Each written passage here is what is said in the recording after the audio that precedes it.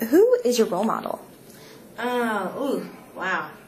Maybe Will Smith, you know? Because he, um, I, you know, I always say that, you know, um, some people, you know, they don't wait for jobs, you know, search for jobs, they create them. And Will Smith doesn't, definitely does that for himself and his children, you know?